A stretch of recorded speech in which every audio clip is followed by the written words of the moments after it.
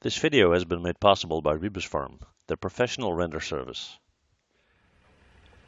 Hey everybody and happy new year and welcome to the first video in uh, 2017 and today we are going to model a meadow. Okay, so let's uh, jump in and have some fun. Here we go. Hey everybody and welcome to the first tutorial of 2017. Uh, well, today we're going to do a, a, meadow and we're going to use paint effects to do that. And uh, I got this idea after looking at a piece of art created by uh, John Rafford, a good friend and a very talented artist. So uh, yeah, that's what we're going to do, right? So we're going to start with a polygon plane. In our modeling menu, we're going to hit R to scale that up and let's do something like so, all right? Now, you technically don't necessarily need a polygon plane as a floor because you can also use paint effects uh, without this plane, but we're going to use it anyway because we will be able to kind of manipulate the, the surface of uh, the ground and make that look uh, cooler, okay? So I'm going to hit Control A to pull up the attribute editor and I'm going to increase the poly count to about 20 by 20 okay?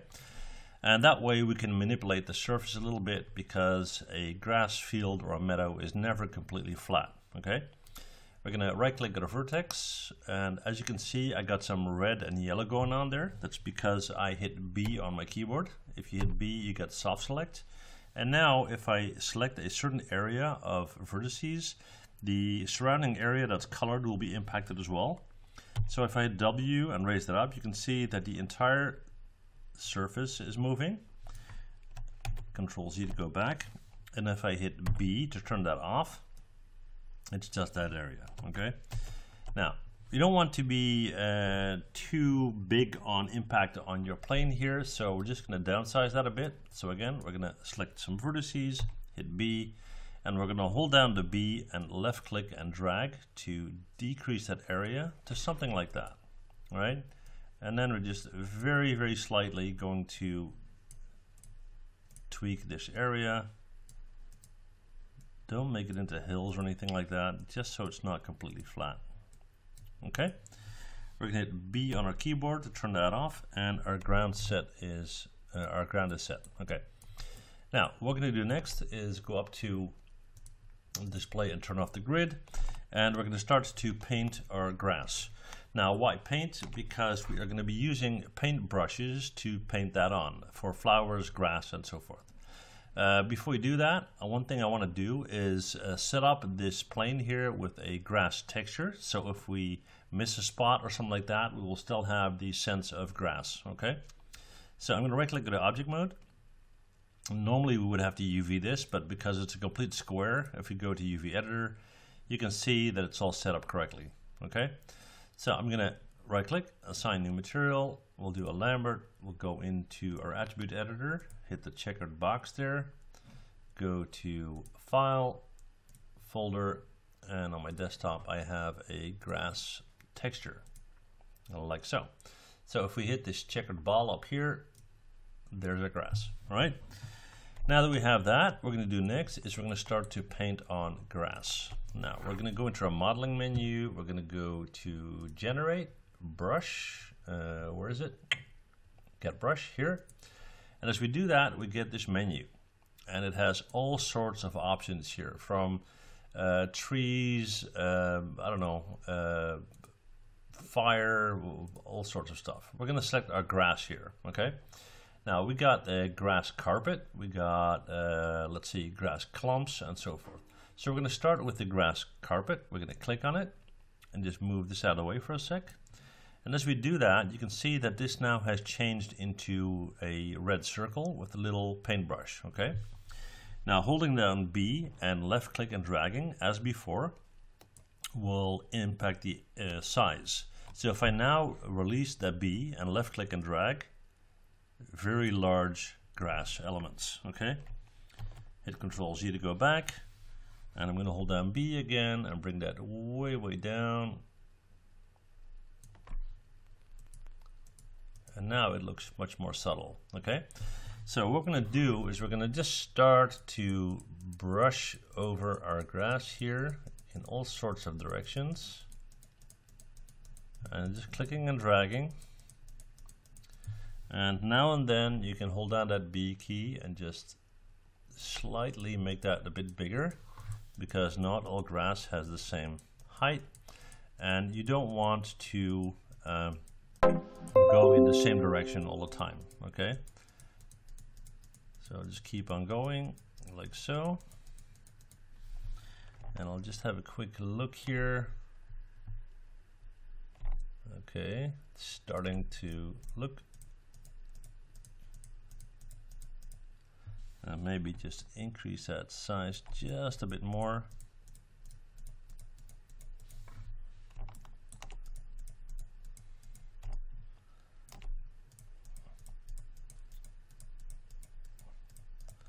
And of course you would normally take your time and do this properly. I'm trying to do this quick uh, for the sake of the tutorial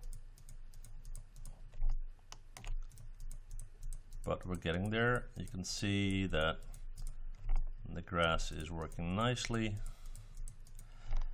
and make sure every time you pull that up that you kind of fling it into a certain direction so it doesn't look too uniform.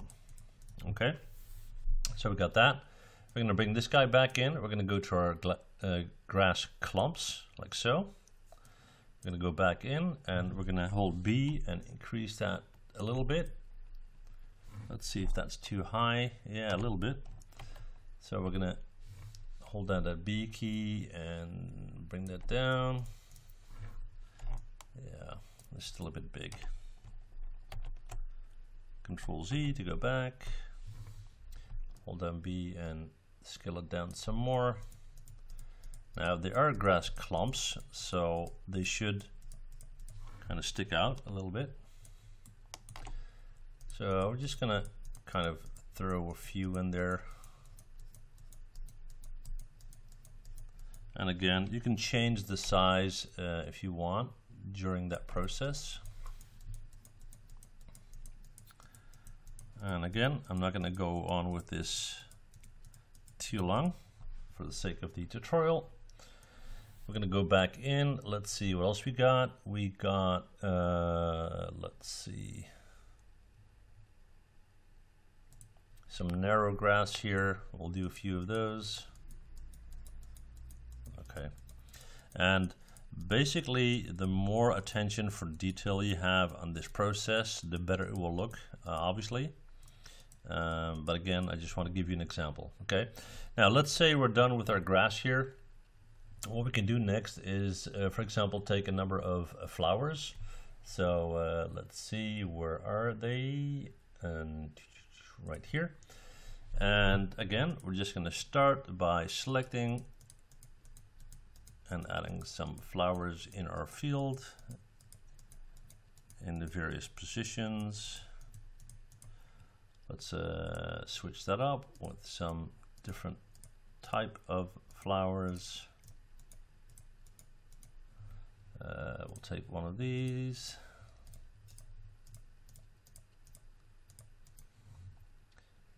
Take a few of these. And again, scale that down a bit maybe. If you don't want them all to be the same size, we'll take a few of these.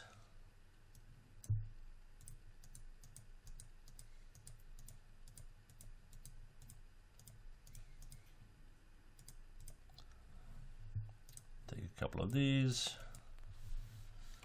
And those I'm gonna kind of scale up a little bit. And let's see we'll do one more. We'll do this right here.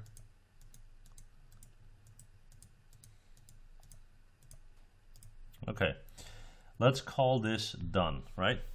Now uh, the thing is, if you render this out using Mental Ray or Arnold, you will see absolutely nothing. And I will prove it to you. I'm just going to hit Q on my keyboard to get rid of this. Okay, so let's go into our render settings. And that's not our render settings. This is, um, come on, render settings. There you go. Okay, so I'm going to select uh, mental ray, okay? And I'm just going to simply hit IPR render on this guy, and I'll just hit render. And this shouldn't take too long because it's only going to show you the ground plane with the grass texture on it. It's not going to show you the flowers or anything else. Now the simple reason for that is that everything that we have created just yet, they are paint effects, okay? They're not polygons. So we have to convert that to polygons first, okay? So what we're gonna do is we're gonna drag select all of this stuff and then we're gonna make sure that we don't have that ground plane selected and we're gonna go up to uh, modify, convert,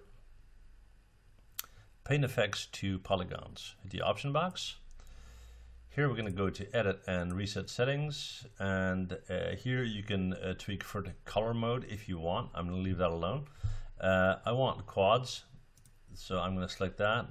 Uh, hide the strokes, that's what I want as well. When you pull on your mouse it sometimes leaves lines on your grid, I don't want that. And here you have the uh, poly count limit. So if you want this to be uh, limited because you need it in a scene where the poly count is an issue, you can uh, keep that quite low. Uh, I'm going to go with, let's say, 200,000, okay? And I'm going to hit convert.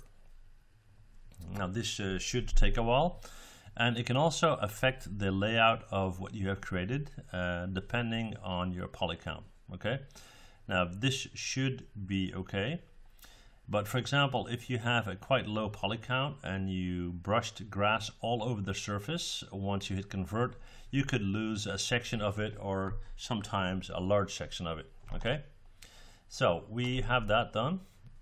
Let's go back in and we're gonna choose kind of a cool angle to do a render here. Let's try something like this. And it would be nice if we had like a backdrop for sky or something, okay? So let's take uh, another polygon plane. Let's hit R to scale that out, E to rotate it, and hold down J to snap it to 90 degrees. Hit W, push that back, and hit R and kind of scale that back a bit. Now again, this is a square, so it should be okay as far as UV is concerned. We're going to right click and assign a new material. Let's go to Lambert, and I'm going to hit the checkered box, go to file, folder, and let's see, I should have a sky here that I can use. There we go. Now I need to rotate it, so hit E to rotate, hold down J as we do that, and let's position it. So hit W and move that up. And you can kind of decide how you want to do that, but for now it's okay. And let's see how we are going to get a nice shot of our meadow here.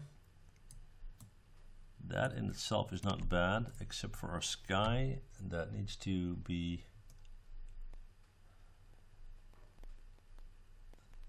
I'm trying to find something that is a bit better for this. So what I'm actually going to do is I'm going to put in a different image. Okay. So I'm going to go to file again and folder and I got something here that's kind of a meadow type deal. It's not a meadow but has a better sky for this purpose I think. And I'm going to hit W, bring that up. And I'm just going to position it so it looks like this. All right. Okay, I'm happy with this position. So I'm going to go in and go to view bookmark, edit bookmark, call this new, apply and close. So this stays in this position when I need it. And then we'll have to put in some light. So I'm going to go into my mental ray settings and what I'll do here is in my common tab, I'm going to set this to, uh, let's see, HD 1080. In my quality tab, I'm going to bump the overall quality to about 1, a little bit over 1. Lighting quality is good. leave that all alone. Let's see.